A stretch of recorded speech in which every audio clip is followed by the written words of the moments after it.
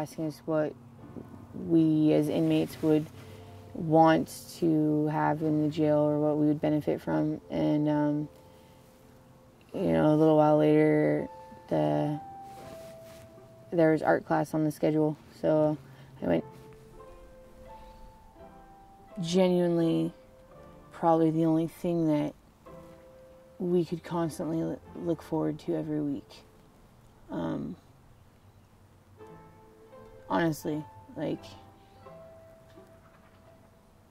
depressed or not, like the rest of the world is happening and you find out stuff about your family or your friends, people die, and like you literally can't do anything, you know, and um, you just you don't want to do anything. You don't want to get out of bed. You don't want to do crap. But you know, Saturday rolls around and it's art class, and you're like, I think I'll go, and um, like having to survive all of a sudden in this like barbaric place, like you know what I mean. The, a lot of the COs will just think that you're some drug doing hooker under a bridge and you had a friend that was just in there for bouncing a check trying to feed her kids you know like she, she's none of those other things that she's she got labeled as you know what i mean and, and whereas there are girls there that yeah definitely do do some of the gnarlier things but it doesn't make that's not like all you are you know um i have quite the extensive history of of not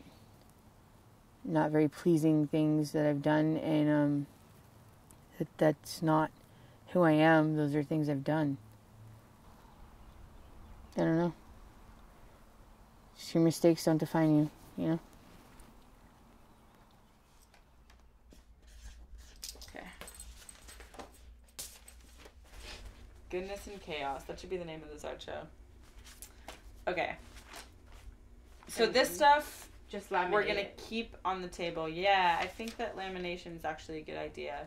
That's the whole thing that I told the ladies about the letters that was mm. so impactful is, you know, I was just like, people see you guys as these scary monsters and these, you know, just totally calloused, hardened women. And if, you know, if you read these letters, they're so vulnerable and beautiful and it just shows the scared little child that's still within them and like Yeah. I told them I was like, you know, I want people to read that and I want people to see that because I see it every day, but Mhm. you know, and they were super stoked about it actually.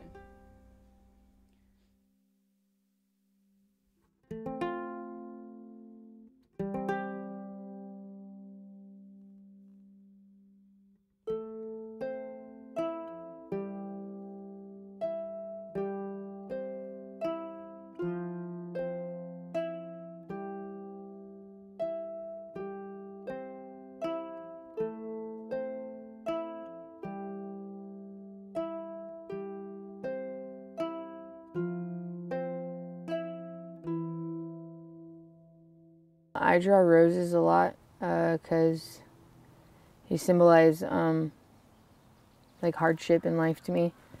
Um, beautiful and trapped by thorns, you know, delicate.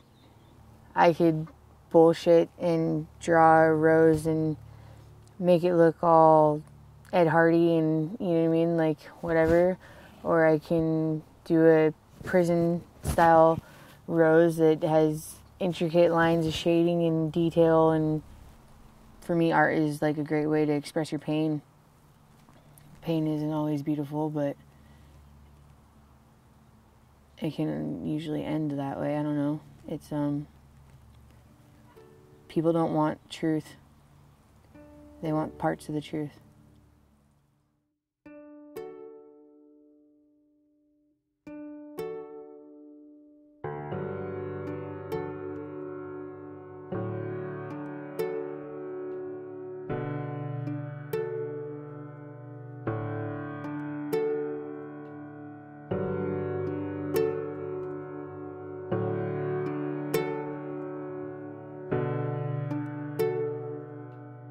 art. It can catch you off guard and, and stuff you have stored away that you didn't know you were storing. And um, it just comes out, and it comes out in a way that doesn't have stress or pressure. Honestly, it does make a huge difference. And um, it's, it's like a little rose blooming in the middle of winter it changed it changes a lot for us in there.